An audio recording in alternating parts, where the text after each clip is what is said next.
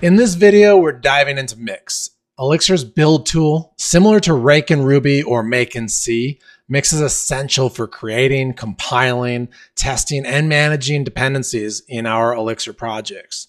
Let's start by setting up a new project and exploring what Mix creates for us.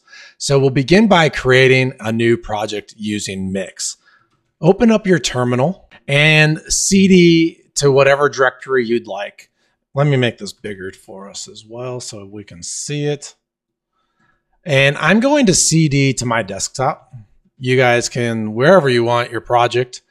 And then to create a new Elixir project, it's as easy as saying mix space and then uh, new and then the name of your project. I'm just going to call mine Hello World because what is the first project or theme going to be if you don't do the the normal programming thing of hello world, right?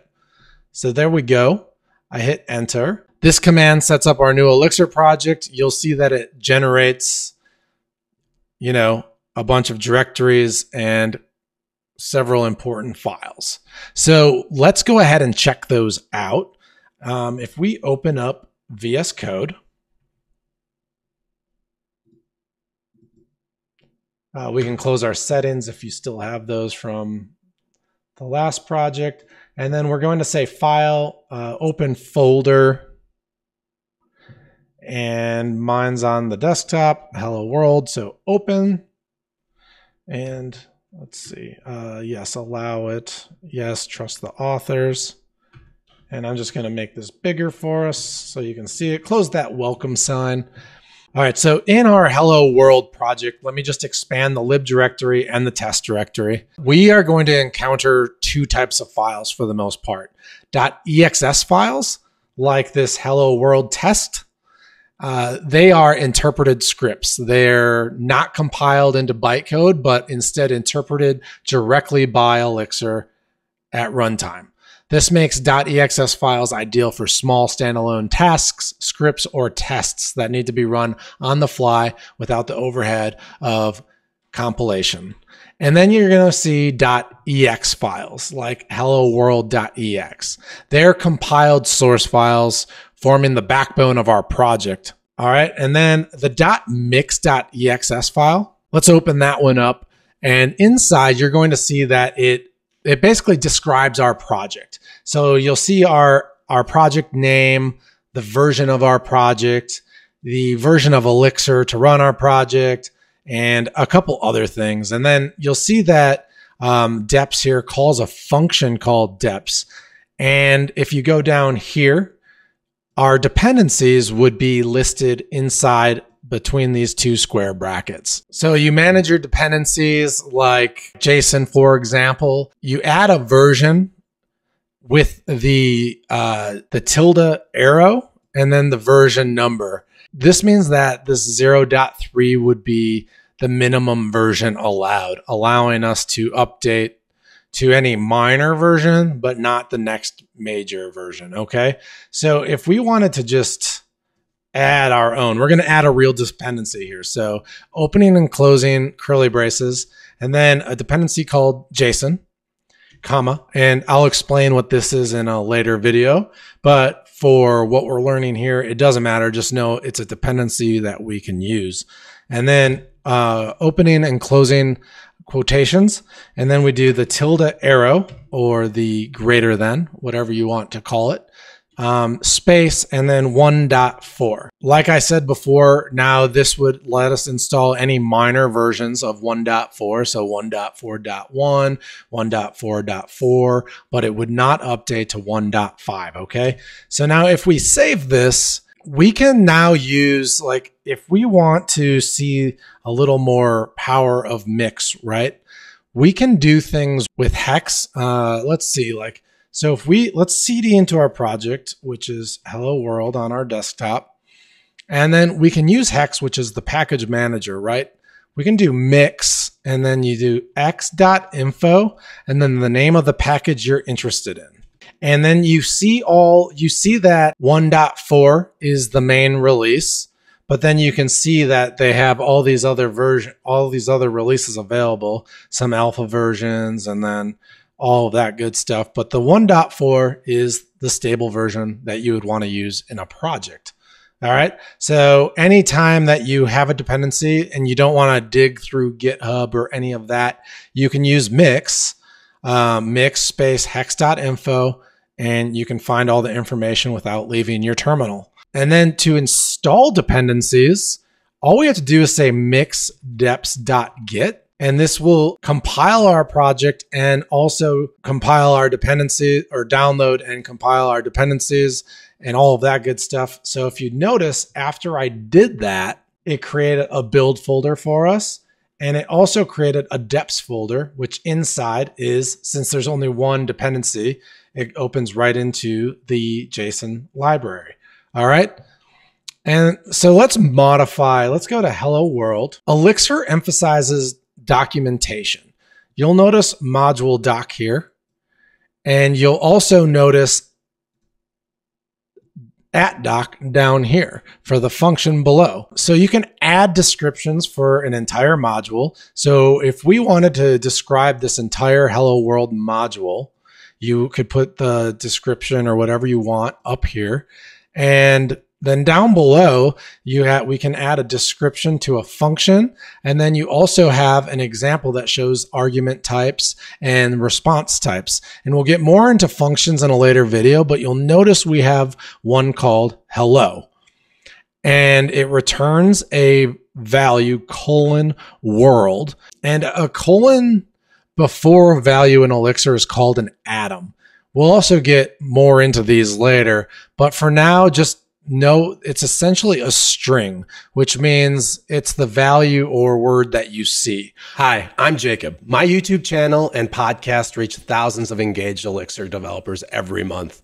If you're looking to promote your developer tools, services, or job opportunities to a focused audience of Elixir professionals, head to elixirmentor.com and let's discuss sponsorship options. One really cool way to access and test our project code is with Interactive Elixir Shell, also known as IEX, from the terminal. So if we go back to the terminal, um, we can actually obviously make sure you're in our project, and then we can actually um, start up the Elixir shell with IEX space dash capital S mix.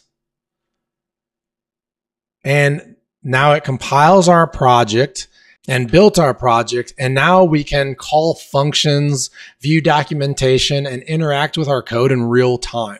So let's take a look at the documentation of our Hello World module. And we can just do that with doing H space and then the name of our module, which is Hello World. And then you'll see that Hello World, so documentation for Hello World. And let's go back to Hello World here. Whoop. And you see documentation for Hello World right there. And I guess I should say the module I'm talking about is this entire thing that a function is inside. And we'll get more into modules and functions in later videos. I don't want to confuse you. I'm just kind of showing you what um, what Mix is capable of doing. And and now the interactive Elixir shell as well. So there you have it. We can see the documentation for our module. Now let's pretend we don't know what public functions are available inside our module. We can just do uh, exports, opening parentheses, in the name of our module again, hello world. Oh, exports, not export. One second. And then hit enter, and you see hello forward slash zero. The forward slash means it has zero arguments, and it's also known as the arity. But we'll get more into that later as well. But now that we know there is a public function, we can also see the documentation for that function. So we can do H, and then we have to do the module name, which is hello world. And then the function, which is dot hello. So that's the name of the function and you'll see it right there, def hello. Okay. And now if I hit enter, you'll see that we have our hello world description and then our examples. So in IEX, if we were to call this function hello world.hello, it returns colon hello. So that's pretty cool. So now let's say we want to manually call our function to make sure it's returning what we expect. We can just type what the example says. So hello world.hello, opening, closing parentheses, hit enter. And look at that. It returns an Atom world to us, which is pretty awesome. I think that's enough uh, Elixir shell for now. Now to exit out of this, we just have to press Control C twice, and now we're back to our our project directory. Now I want to point out is the test directory. If we go over to the test directory and open up hello world test.exs, um, tests are written in EXS files so the script can be run without being compiled. So this file was generated to match our hello world.ex file to test the single function that returns the atom world. Now, a few things to note here. Um, it uses ExUnit.Case. Now, this is Elixir's testing framework. This gives us helpers for defining test cases. Then you'll see this doc test hello world. This is really cool, and we're going to circle right back to it, but um, just not right at this moment. And then you'll see our test. And our test looks like another function, but instead of def in front of it, you see test and then it's followed by the description of the test. So it greets the world. And then you'll see assert. And assert is um, making sure that what we get return like returned by our function matches what we expect it to be. So in this case, we expect our hello function to be the atom world. So now if we go back to our terminal we can actually run our tests with mix. And all we have to do is say mix test. It will compile and then it runs our tests. So you'll notice that it says one doc test ran and one test ran, but we only had one test. Okay. So what is this doc test? So remember our function documentation? Let's go back. Doc test actually runs the example code here. So doc test actually called the IEX, so hello world.hello, and made sure it matched uh, the Atom world, which is pretty cool. So we essentially have two different tests written for the same function, and one is already acting as documentation for us. And just to show you this, I'm just going to delete the D off world and save it. Let's go back to our terminal and hit mix test. And look at that. Our doc test failed. So that's really cool. It's running our documentation as a test. I think that's really cool. So we'll be diving into tests in much greater detail later in this course. I just wanted to give a little bit of an overview. Now, one last mix command I want to show you for this video is um, open up your terminal or pull your terminal back up is mix help.